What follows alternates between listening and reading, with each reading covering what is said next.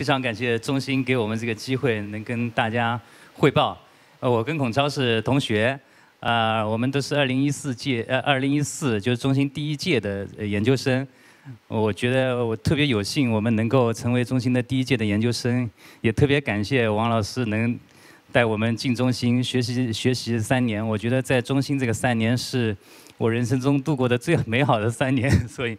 所以每次回中心，就是就像回到我们这个呃心中的精神家园一样，特别放松，特别开心。嗯，那么我我在读研二的时候开始拿了投资创业，啊，也是因为 IDG 介绍，呃，拿了一笔投资，然后就开始创业。那么我觉得我在中心呢，呃，跟着跟着老师们学习呢，呃。加强了我的研究能力和系统系统性，那么这个对我创业是非常有帮助的。呃，然后呢，我们这两三年呢实战在呃，确实是因为我原先是在做制造业，然后也是做国际贸易，那么现在回过头来在国内做做品牌，做自主品牌。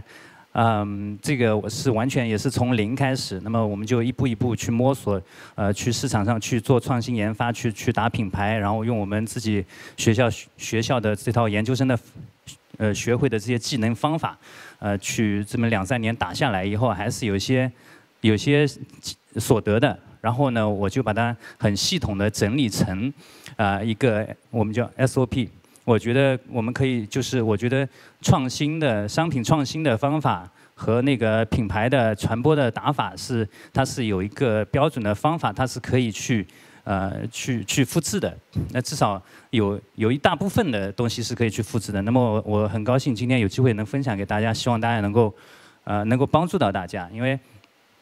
嗯，因为我觉得大家以后出去，如果真的自己有机会创业的话，或者是做项目的话，那对商业有一个呃整体的了解和判断，那么对对自己的事情都是有帮助的。嗯，我先看一下。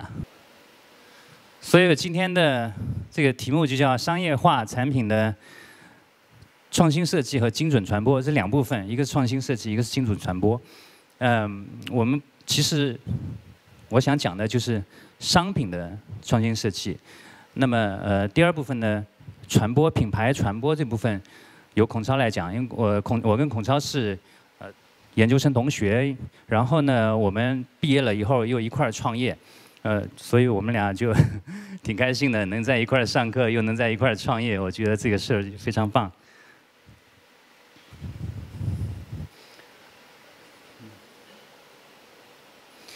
呃，然后我简单介绍一下自己，我是呃美院的艺术硕士，那也是长江制造创业的首期的 MBA，对，两个都是首期，因为我我我还是比较喜欢去呃寻找这种呃首发的机会，所以所以我我我经常会学这种呃首期的东西，特别有意思。呃，我们的品牌叫水晶晶，呃，然后呢，我们也拿了一些设计奖项，像入围了 IF 啊。然后呢，也拿过 IDA 啊，然后我们也入围过 I 呃 DIA，呃第一届，呃 DIA 我觉得 DIA 现在已经是世界上最拿的最难拿的奖了。我们现在能够比较比较嗯容易的去拿到这种韩国的 K Design 啊，或者是呃去入围红点啊 IF，但是我们现在已经很难入围 DIA 了，所以呃我很难得我能有机会跟着中心。呃，当时也是 DIA 也是第一届，我看着 DIA 一届一届从零做到现在这个规模，做成世界上最大的呃设计奖，我觉得也是非常有幸的。所以我觉得我在中心有两个事情是非常非常有幸，一个是能能第一届看中心呃设立成长起来，第二个呢是能看制造大奖从零做到现在这个规模。当然以后它还会越来越厉害，所以我觉得这两个事情对我的影响还是非常大的。对啊，呃，国内的奖也拿了一些。呃，我看一下我们的品牌，这是我们的品牌的视频。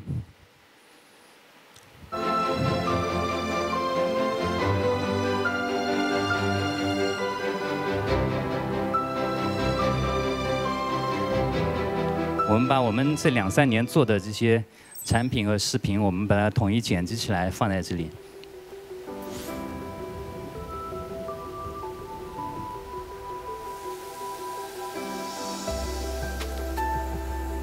这是我们在中心做的，呃，这当时是我在中心还在中心的时候做的一个一个一个设计，呃，这个叫软水花洒，我们用水果里面提出来的一个有机物，它这个做成的滤芯，它能够软水，把水软化。就很小的一支滤芯就能达到软水的效果，所以这个项目呢，呃，也是拿了 IDA，所以我们因为是在中心读研究生的时候做的项目，所以我们就把这个奖牌呢就拿过来放在这里，因为这个是属于中心的项目。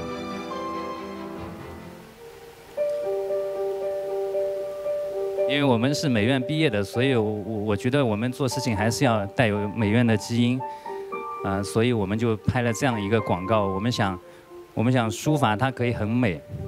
嗯，它不应该就是那种很很粗暴的去表表达，它应该也还可以很时尚、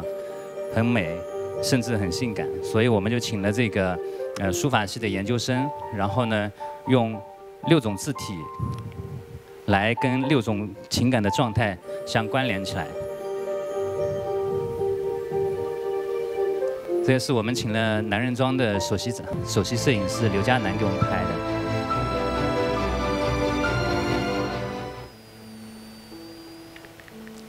然后我们觉得我们还应该讲一讲美好的感情，所以我们就拍了这个片子。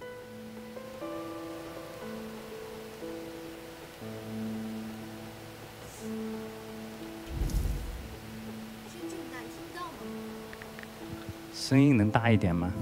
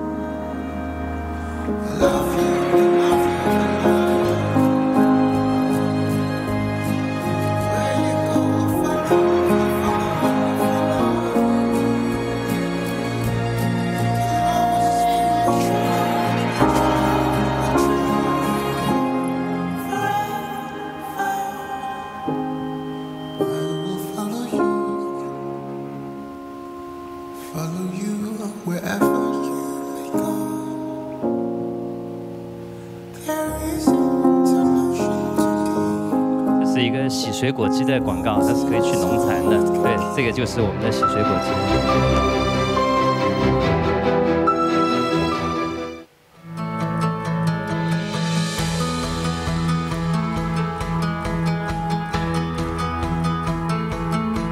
这个就用三维的动画演示，就是你的水会在传输的过程中会受到什么样的污染。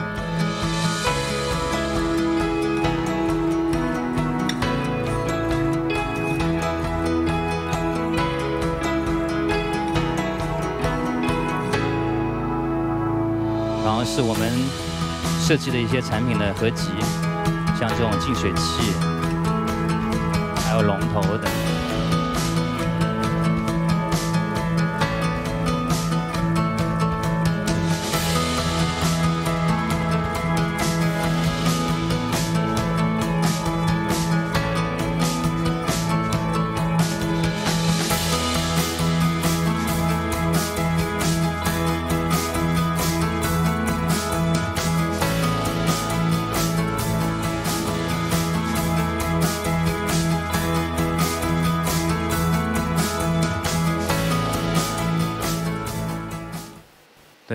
觉得这个就是我们对水晶晶品牌的定义。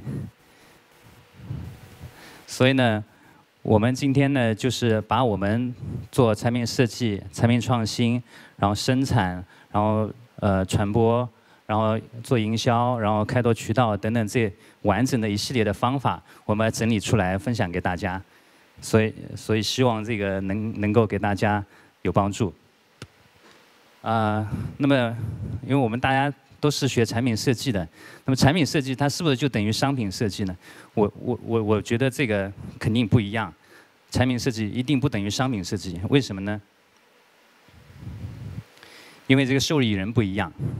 就说我们在做产品设计的时候，我们想的就只有一个人，就是最终消费者。那么我们会想，我们做的东西怎么样对他有各种各样的好处，情感上的好处、功能上的好处等等。但是商品呢？商品它有三个受益人，第一个就是生产方一定要受益。那么你做的这个东西要对生产方有益，它要生产起来能够大批量生产，能够规规模化的去去生产，然后呢，它能有一定的利润，而且它的工艺它是够能够把它做出来，它不会太难，因为太难的东西可能会把工厂自己都给搞死。所以呢，这个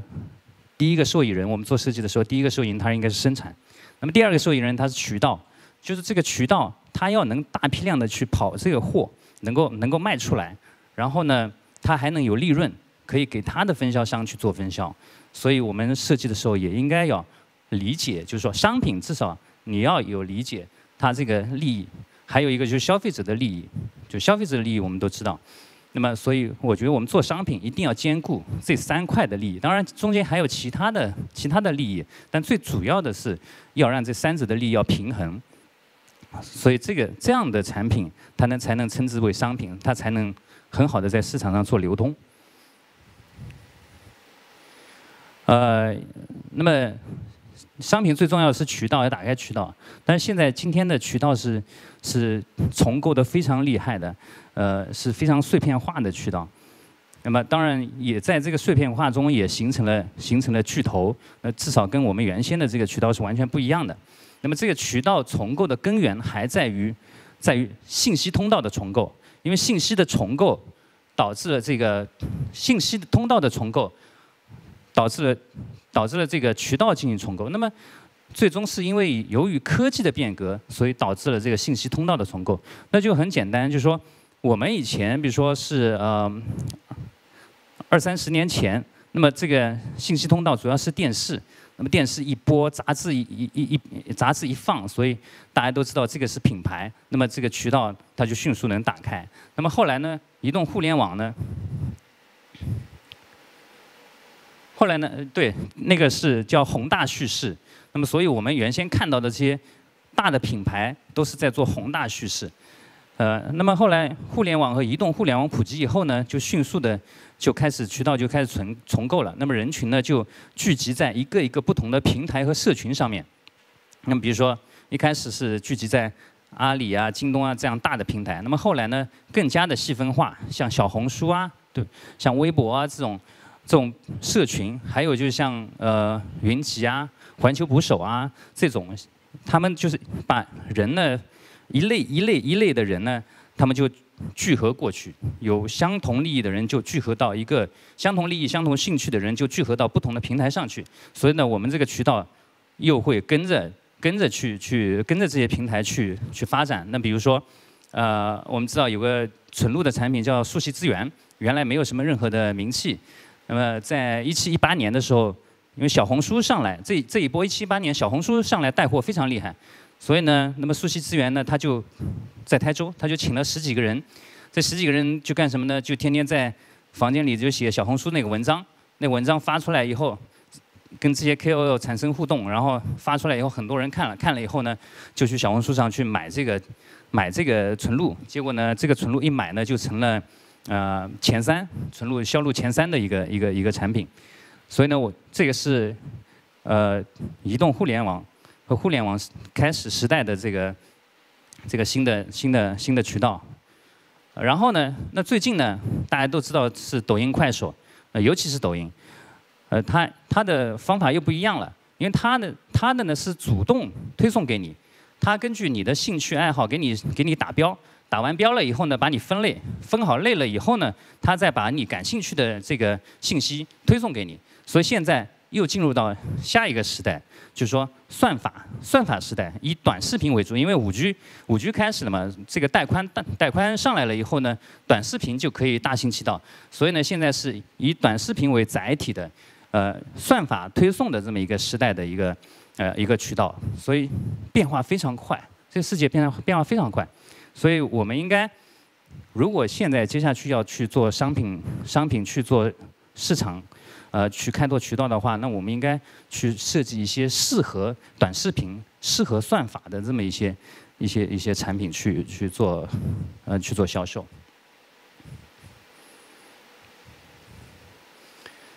呃，那总的来说呢，我们现在如果要去做产品的话，我们应该非常清楚的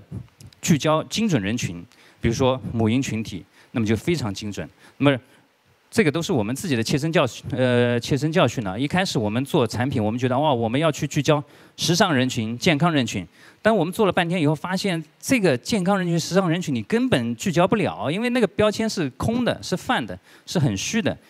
对我们听起来，我们觉得很容易啊，健康人群、时尚人群，但是实际上你在做广告推送的时候，你没有办法推送到这么空泛的这个人群身上。那么，比如说什么样的标签是精准的呢？那母婴人群就非常精准。那么，宝妈，对，她在生生小孩前后，那么她会有各种各样相同的需求。那么这个人群，他的标签就非常的清晰。呃，然后呢，我们做产品，现在做产品呢，一定要可感知，就是。可视感知，对，一定，因为短视频为载体嘛，所以你你做的这个产品呢，一定要能能够用视频表现出来，把它功能表现出来，让人家看到它的功能。那比如说，呃，你做一件衣服，你你怎么去表现它？你你说这个衣服呢，我是防水，OK，呃，你把这个衣服穿在身上，泼一杯水，然后呢，里面垫一张餐巾纸，那个水泼过去，然后你把餐巾纸拿出来，这餐巾纸还是干干的。对吧？它就是防水。那大家，你把这个短视频一拍，然后往抖音上一放，然后推送给相同标签的人，啊，有些人就是想买买一件防水的衣服，哎，他就觉得哎这个很靠谱，那他就马上下单就去买了。然后呢，你说这个不光防水，它还透气，那怎么说能透气呢？那你把这个衣服呢打开，然后前面点一根蜡烛，然后呢你用吹风机对着衣服一吹，它这个风能透过这个衣服把蜡烛吹吹掉，那它就是它就是能透气的。对吧，所以这种呢，就是用视觉来呈现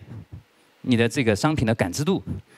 所以呢，这个对于我们做设计的时候，我们就要知道这个事情。那我们做设计的时候，我们就要知道我们这个功能设计出来，我们能不能用视觉呈现出来？我们能是不是有可感知的？那你不然的话，你你设计出来的东西，你没有办法用视觉呈现。你都必须用那个参数，就说啊，我这个能承受多少斤的力，然后我这个有多厚，我这个叭叭叭，你全部用文字来用说明书写在上面，没人看，因为这个时代没有人看，这个时代已经不是读文字的时代，也不是读图的时代，这个时代是 读视频的时代，所以非常重要。你想你的产品卖得好的话，所以这个可视感知非常重要。呃，然后呢，我们一切都围绕 I O I 来做，I O I 呢就是。就你这个商品呢，拿出来以后，拿出来呢，你做投放，因为这个每一个点击都很贵啊，每一个点击，因为你想让人看到，你得花钱，一个点击，比如说一个点击一块钱，对吧？那你希望十万人看到，那你就要拿出来十万块钱来投放。那么这十万块钱，十个十万个人看了以后呢，可能会有五千个人对这个感兴趣，那么就有五千个人去点进来，对吧？五千个人点进来，那么。这是第一个转化，就是你要引流，你要把那些人引进来，引到你的店铺。那么五千人点进来以后呢，他可能能够产生五十个购买，这个就是第二步，就转化，一个引流，一个转化。所以呢，你从十万个人跳一跳，跳到五十个人购买，那么这个就非常重要，这个 ROI 就非常重要。你投出去一块钱，你能产生两块钱的回报，那这个。这个呢，可能你就刚刚做平这个生意，你就刚刚做平，因为因为两块钱，一块钱的投放成本还有一块钱，那一块钱的那一块钱里面的五毛是产品成本，那么剩下的五毛呢，它它是你的管理费、工资、人员人员这些开支等等。OK，你投一块钱，你收回来两块钱，一比二，一比二，你这个生意刚好不赚不亏。那么你如果是只收回来一块五，你就亏掉了。你如果是收回来三块钱，OK，这个生意你就可以了，你就你就你就赚一块钱，赚一块钱呢，你就把它扩大，对吧？你原先投十万，那我投一百万就能放大。如果这个生意是能放大的话，那就那就很棒。所以，所以我们看它成功不成功，那我们就看它 ROI。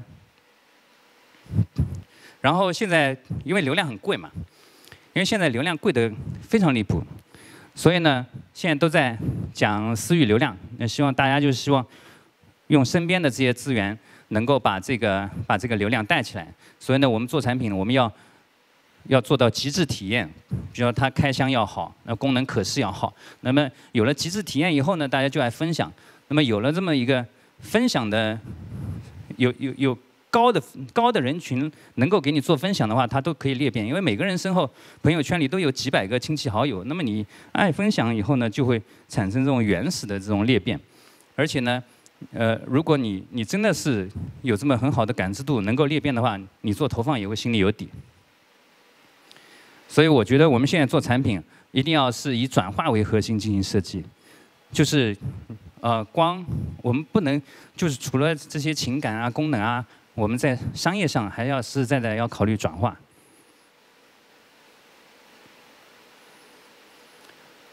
然后我觉得非常非常重要的是这四个，一个是大品类，呃，就是我们做的产品一定要是购买的人群基础非常大的。那么以以以小米为例，那么小米挑选产品、挑选品类的有一个原则就是。你家里房间里能看到的这些东西，他愿意把这些东西挑进去。那么你想，我们知道中国十亿、十四亿人口，那么家里能看到的东西，它就有个非常大的基数。那像这种品类，它就它就是一个大品类。你怎么做，它都有一个大的基数在后面撑着，它的销量就不会太差。如果我们做一些冷门的行业的话，那我们投入时间、精力、金钱，那可能它的销量就起不来。所以我们挑选产品的时候，挑大品类是非常非常重要的。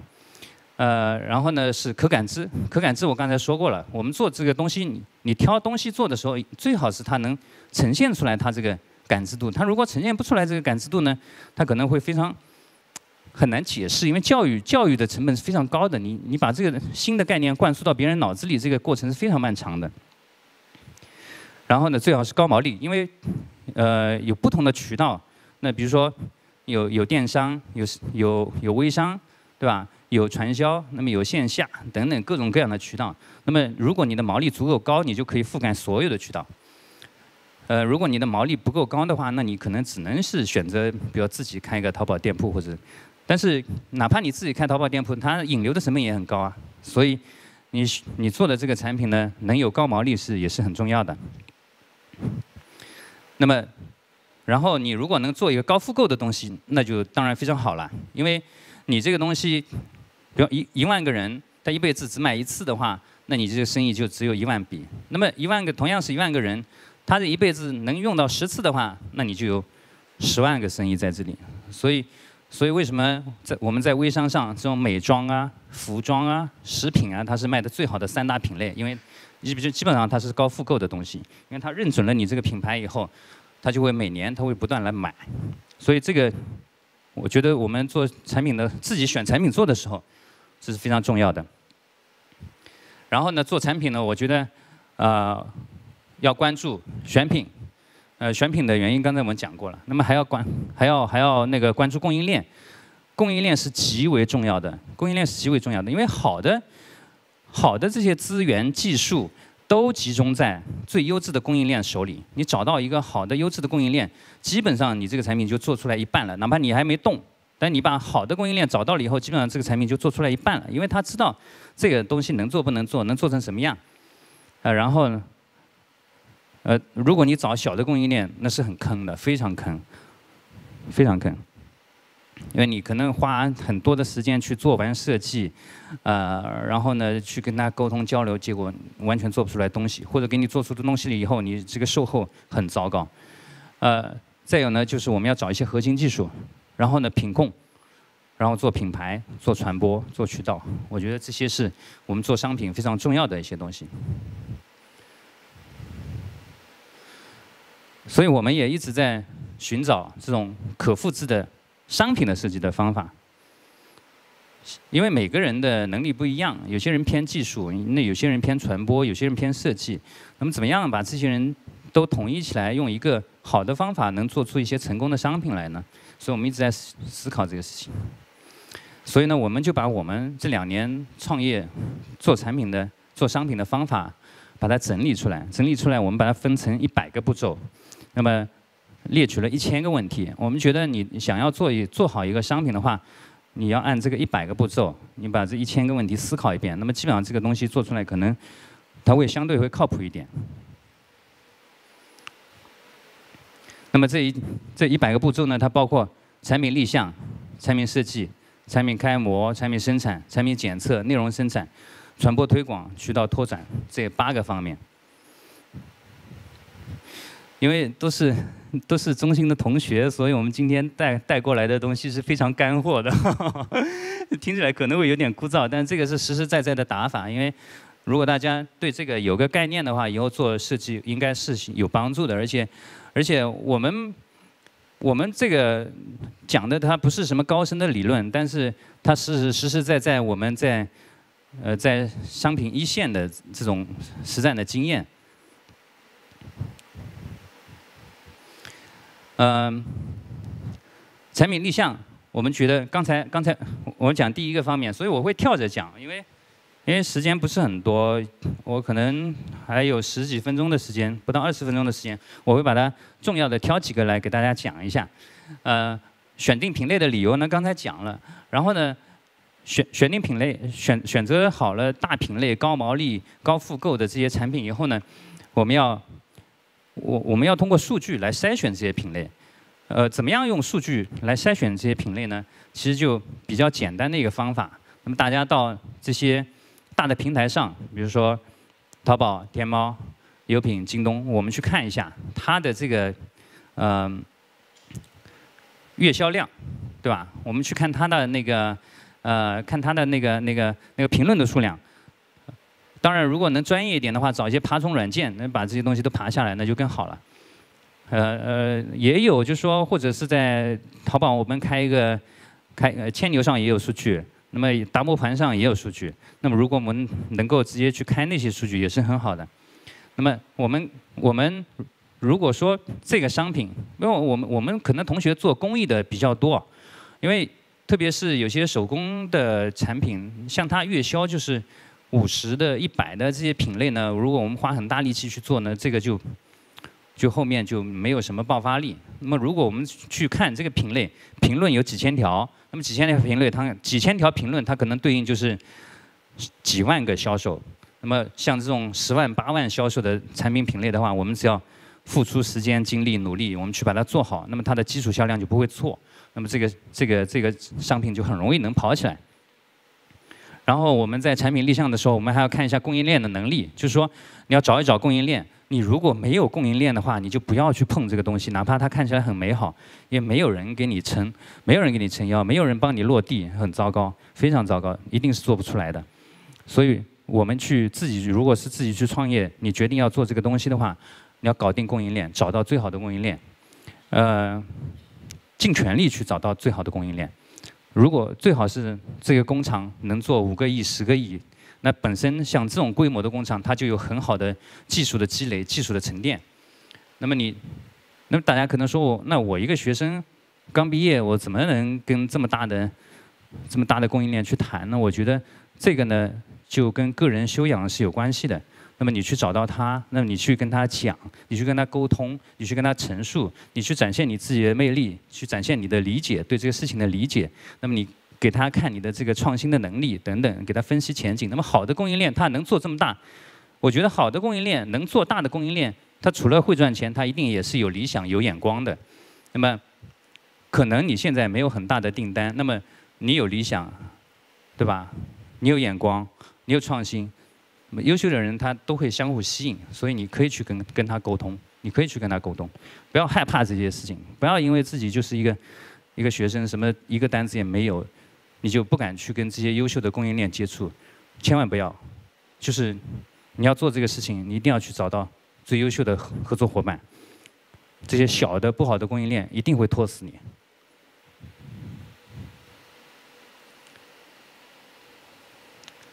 对，然后就说一下，你你如果是找那个供应链，如果真的规模不是很大的话，你也找那种最好是找那种技术出身的老板，因为技术出身的老板喜欢创新，喜欢把控品质，那比出销售出身的老板要好很多。销售出身的老板他会去招一堆技术员，但是技术员流动性很大，你把一个项目交给他以后，可能不知道什么时候能给你搞定，所以这个是也是一个简单的判断的方法。然后呃。这个做品类品类分析的时候，我们最好还是评估一下这个产品做出来，它会不会造成人身伤亡、健康损害、承担损财产损失。比如说你你卖一个小东西，这个小东西装在浴室里，但它很容易裂，裂完以后这个水容易把房间漏得到处都是。或者你去做一个装在煤气上的一个什么东西，但是你又不是百分百确定你能把控这个东西的这个质量，那你最好不要去碰。呃，我觉得有些有些东西我们还是做之前要判断一下。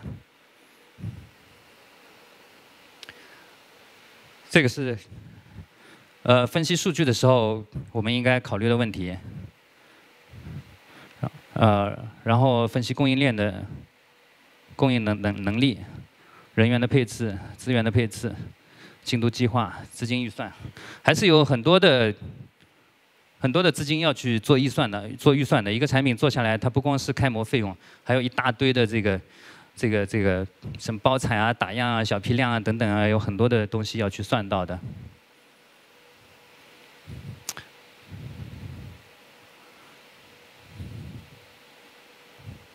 呃，然后就是产品设计。那么产品设计里面，我刚才讲了，对供应链的分析非常重要。第二个，你做设计的时候呢，你要去分析，你要将来你这个产品你要放在什么渠道？因为放在不同的渠道的做法是不一样的。因为你比如说微商的渠道，对吧？现在现在叫社交电商。那么社交电商的这个渠道呢，它就是一个高毛利的一个一个渠道。所以你这个产品呢，你如果说是选择在社交电商，那你一定要把毛利留得足足的。那你一定要把这个噱头留得足足的，你不然的话，你没有这个高的毛利，没有办法去支撑他们下面的分销。那你如果是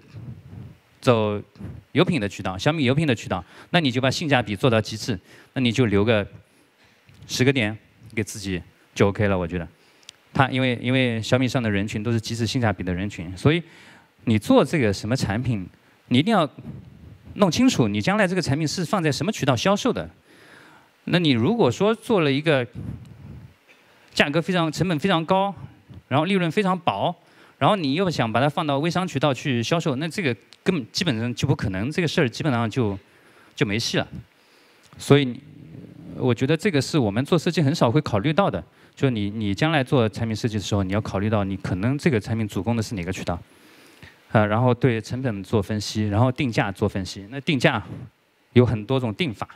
我们后面会，后面会会会那个，会看一下定价的方法。然后呢，我们要对精准的人群进行画像，对，然后对竞品做分析。呃，然后呢，我们动手做设计之前，我们要对。这个卖点的感知度做分析，最好能设计出这种能可视的、有感知度的产品。那这样子，你你做完了以后，后面这个营销的人员不累，销售的人员也不累，因为你在前面做设计的时候，你已经把这些东西埋进去了，那他只要拎出来就可以了。你如果把这这些东西没有埋进去的话呢，那做营销的人要想破脑袋再去给你弄这些事情，就就后面就很不靠谱了。呃，然后做结构的时候呢，要看一下它开模能不能开出来。嗯，很很多很多，我们很多同学做了一个很漂亮的设计以后，结果拿到模具厂厂一看，这个基本上是开不出来的，所以这个设计也是也是有问题。然后呢，它量产的时候它能不能做出来？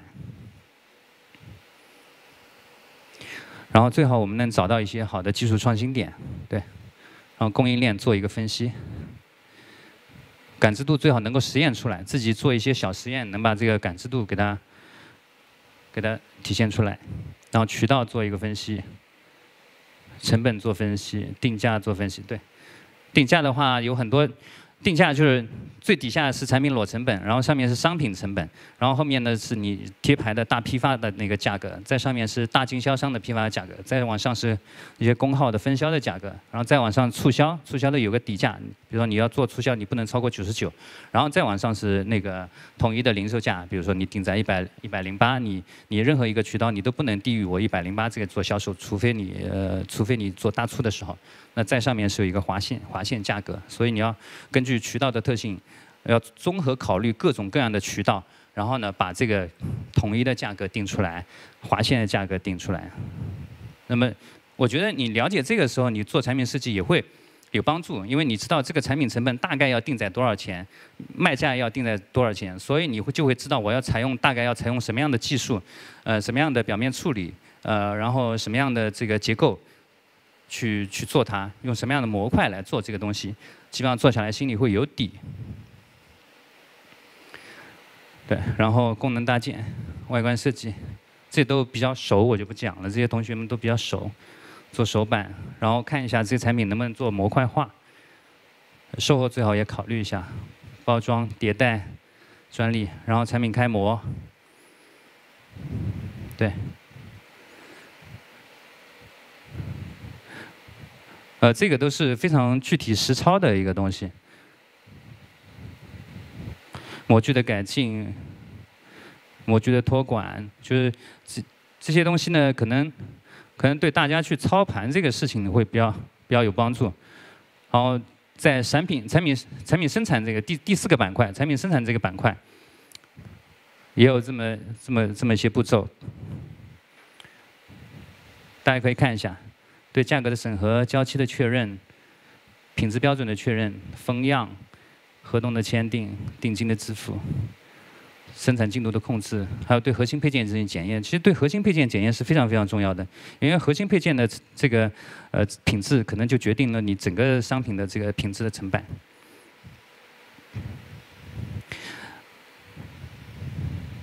呃，生产这块我们就不多讲，因为它是都是非常实操的东西。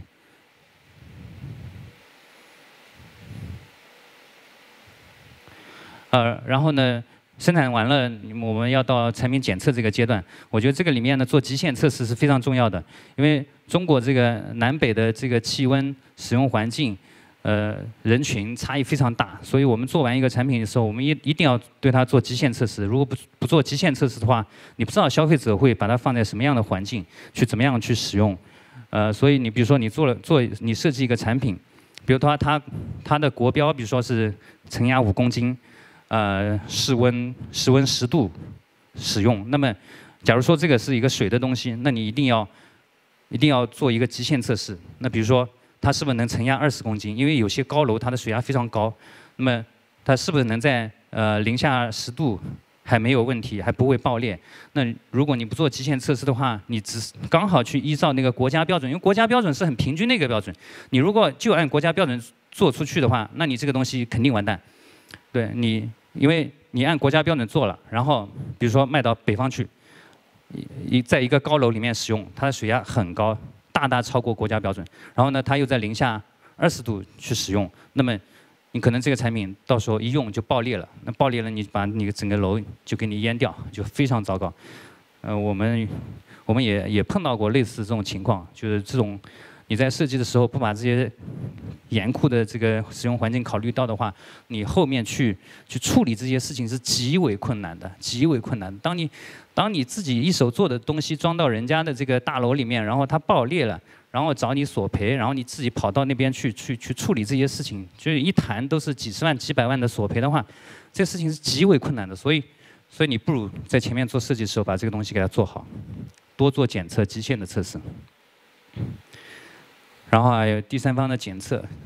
呃，我我说的这些步骤，这一百个步骤，它都是一步一步一步，它应该要做下来的。它不是说我可以就做这个几步那个几步，它是环环相扣的。它是一个，就是如果你自己做创业做产品，这些事儿肯定都是会遇到的。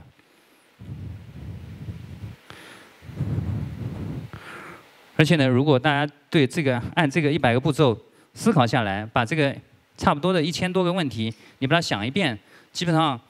然后你再坐下来做设计的话，那这个产品的设计可能会跟你当初想要做的设计的东西可能就会不一样。对，然后非常常规的寿命测试，然后最好能够模拟一下使用场景，然后跟竞品做一下对比的检测。然后，如果你能考虑到一些售后的问题，那是最好的。呃，然后你产品生产出来了，检测也做完了，那么就到了你要怎么把它传播出去。所以呢，我们就要做内容的生产，就是我们自己做创业这部分是一定要做的。呃，比如说，就是我刚才讲的，怎怎么样把卖点挖掘出来，怎么样做可视化的这个呃视频的感知的这个视频，可视感知的这个视频，所以呢，你就应该去做内容生产。那么内容生产呢，它又包括核心卖点的提炼，然后感知度的分析，然后它的应用场景的分析，它渠道数据的分析，人群的聚焦，还有竞品的对标，对。呃，我们这个竞品的对标对标做的特别多的是，就是小米上小米平台上会做特别多的竞品对标，啊，然后呢做内容的模块化，因为你找到一个核心的卖点，然后把它做出来以后呢，你你要做内容的模块化，就是说，比如说你这个东西是防风防水的，OK，你把这核心的东西做出来了以后，你要放到不同的平台上，它应该经过不同的包装，比如说你把它放到知乎上，那么它应该看起来更像一个论文；你把它放到小红书上。那么应该更像一个使用感受的体验，对吧？呃，然后，所以不同的渠道你需要去不同的去包装，但是你这核心内容它是不变的。所以我们提炼好一个核心内容以后，你应该把这个内容做模块化。所以做内容同样要跟做产品一样，同样可以要要跟做产品一样。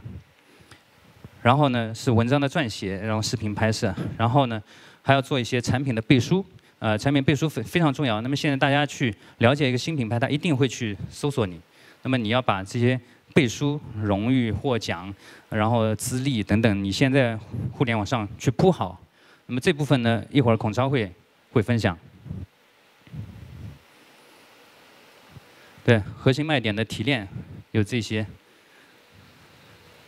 然后感知度的分析应该要做这些事情，场景的分析。渠道的数据分析、人群的聚焦、竞品的对标、内容模块化、文章的撰写、视频的拍摄。对，然后呢，我们最对内容生产完了以后呢，我们就开始做呃传播的推广。啊，一会儿传播孔超会讲，就说我们传播，比如说兴趣点啊，然后 KOL 怎么选啊，兴趣点怎么提炼啊，投放媒体怎么选啊，对吧？受众人群怎么怎么去怎么去挑选啊？呃，然后呢，我觉得最重要的是你，你一定要做闭环的设定。就我刚才讲了，比如说你在微博上投放，它有一百个点击，那一百个点击呢，一百点击点击完了以后呢，对吧？那我们肯定不能没有了。比如说，假如说这个是一篇十万加的文章，或者我们以公众号为例，这是一篇十万加的文章，十万加的文章。那么十万加的文章，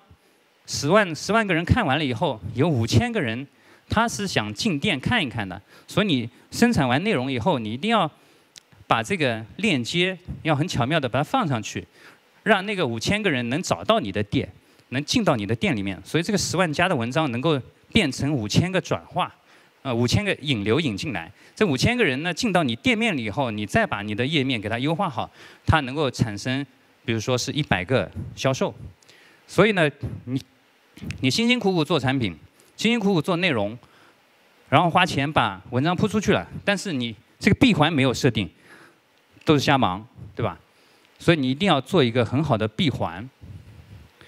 呃，包包括我们现在在在网上做的很好的一些呃美妆啊，小红书上能查到的，微博上能看到的一些爆文，实际上大他们都是花了很大的心思，然后去把这个文章写好，然后最后呢，他会很巧妙的把这个闭环隐藏在这里。让你文章看了以后会非常心动的去淘宝上搜索这个产品，那都是做的非常好的一个。大家不要以为那个爆文是你随便随意看到、运气好看到的，一定不是。这豹纹一定是有很厉害的人在身后把这些东西经营好，然后花钱投放在你面前，然后你看了以后感同身受，然后产生点击，然后产生转化，一切都是这样的，一切都是。商业上的东西都是受控的，都受控的，它不是无缘无故会跳出来或让你看到。对，然后我们最好还有啊，还有一些具体的步骤，小批量的投放验证、二次转发的分析，然后包括对转评站的分析等等。然后你做完以后要对传播做复盘，就是你你投了这这个十万加的文章，你花了多少钱，有多少转评站，哪里好哪里不好，你应该做一些复盘。然后你一些经典案例要整理出来。然后受众群体要分析，然后传播的兴趣点应该要提炼，对，然后投放媒体要标定，然后 KOL 要选，选 KOL 非常重要，就是 KOL 名气大没有用，头部的 KOL 是很水的。那么现在选 KOL 的要点一定是精准，只要这个 KOL 周边聚集的人群是精准的人群的话，那就有价值。那太泛的 KOL 是没有用的。啊，然后呢，最好是腰部的 KOL 是比较有价值的，因为我们带货，我们带货也找过那个叫什么跑男那个，呃，跑男那个那个那个，我们也找什么呃薇娅啊这些头部的 KOL 都都带过货，但是。呃，头部的 KOL 不一定效果好，如果不精准的话是没有没有太大效果的，所以一定要选精准的这种 KOL。所以要学会去水也很重要，粉丝的去水很重要，闭环的设定，小批量的投放验证，二次转发分析，媒体矩阵要构建，媒体矩阵构建就是我刚才讲的，你微博啊、公众号啊、知乎啊、小红书啊，你应该把这个矩阵建立起来。啊，话题的引爆，然后，呃，数据统计，传播复盘，然后最后就是渠渠道拓展。那么，那你所有前面做的七七个步骤，最终是要落实到跑货这件事情上，因为你只有在跑货这个过程中，你能获取获取利润。那么你获取利润，呃，获取规模大的利润，才能让你去组织更多的资源。呃，更多的人力去做更好的一个一个设计出来，让你的这个公司，让你这个组织庞大，让它有序的循环经营下去。那么，我们做这些事情是为了更好的经营好这个公司，然后呢，有更多的资源可以做好下一个更更大的事情。所以呢，前面做的事情最终都是要落到渠道上，所以渠道的开发也非常重要。那么你前面做的这些产品，你做的这些产品设定的这些卖点、创新，然后呢做的这些文章背书、传播投放，然后这个转化、转化的这个数据，那么拿出去对跟渠道谈判的时候就非常有价值，就非常有说服力。如果你这些转化、传播都做得非常好的话，那它是非常有价值的一个一个东西，就很容易跟渠道去谈判。然后渠道里面，我觉得最重要的是呢，就说。呃，百分之八十的生意其实都集中在百分之二十的渠道里面。你只要找到合适的好的渠道，重点去深耕这个百分之二十的渠道，它是能够产生百分之八十的收益的。所以对渠道的吃透也是非常非常重要的。对渠道的渠道还是要深度去分析。那不光分析它的渠道的人群，你还要去分析那个呃渠道的最关键的人，关键的人。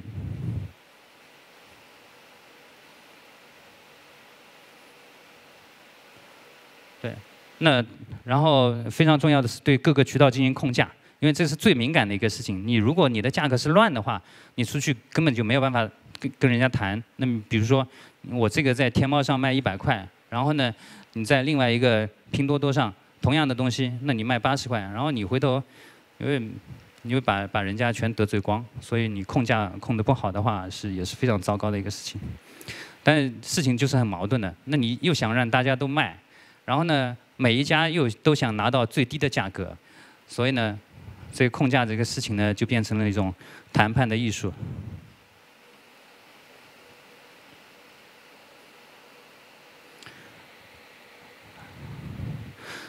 呃，所以前面讲的这个八个方面，呃，一百个、一百多个步骤，一千多个应该要思考的问题，我觉得我们应该。做一个设计之前，最好能够把这些事情都梳理一遍，都想一遍，会有助于我们动手做设计。因为心中有数，你做做出来的设计，它才会才会有价值，才会才会才会更容易去成功。所以我觉得我们做设计，它是是有经历这么三个阶段。一开始我们做设计的时候，我们觉得哇，我们一定要做一个很牛的设计，要很创新、很高科技，对消费者很有利，情感很棒。然后呢，你可能会做这样的设计，然后呢，你把这样的设计拿到供应链，拿到渠道，然后供应链会告诉你，哇，你这个曲，你这个曲度完全做不出来，哇，你这个材料根本我们没有办法达到，或者一算这个成本比人家的售价还高，然后你就挺郁闷，然后你回来就要改，然后呢，你拿到渠道，渠道说你，哎，你这个东西根本没有办法卖，哎，没有这种先例，这个产品呢，我们平台上没卖过，这个品类呢。根本也不好，因为很多时候渠道根本渠道本身它不会判断你这个东西是不是好，它只会看人家那个平台上卖的多不多。所以呢，你会很沮丧，回来回来改，改完以后呢，你拿出来一看，你这个东西就是跟人家的产品就没有任何的区别，可能就跟淘宝、拼多多上现在正在热销的东西长得就完全就一模一样了，因为这种各种的创新的东西给你。给你削减打折了以后，你就会没有办法做出来一个特别好的东西，所以这个时候呢，就觉得特别沮丧。但是最终，如果大家对商品这个设计有所了解的话，然后你能找到很好的方法去突破它的话，我觉得这个会到第三个阶段，你会能做出一个真的很好、很创新的产品。然后呢，你拿出来以后呢，又很惊艳，然后呢，各个渠道呢又非常欢迎，然后呢又刚好能够能够，呃，达到供应链所能达到的那个点，然后还会有一些创新。那么你做出来的这个产品，我觉得它才是容易成功的一个产品。所以我觉得设计师他是经过这么一个三个阶段的。呃，就是说。这么多，因为时间关系，所以就讲得很快，讲得很快。真正实操的时候，一件一件一件做下来，哦，就是按我们的经验，没有个一年时间，它是走不完这些这些流程的。呃，如果能一年顺利走完，那也已经是非常棒了。呃，就说这么多，我觉得最最最重要的还是产品本身。说，假如我们能设计出一个非常棒的产品，就情感上、功能上、呃，这个利益上，对吧？然后这个传播度上、那品质上、使用感受上等等都非常棒的产品。那么本身这样的极致的好产品，它能解决一切困难。就是当你有了这么棒的产品在手的话，那么我刚才说的这些这些困难，就是一切困难都迎刃而解，就会马上迅速的能铺开。当然，成功的做出一个好的。爆品能够大卖的爆品，是我们每个做产品的人的一个梦想。希望就是大家也能做出这样的好的产品。然后因为时间关系，我就分享这么多。呃，这是我的微信，大家可以加我。呃，有什么事都可以跟我沟通。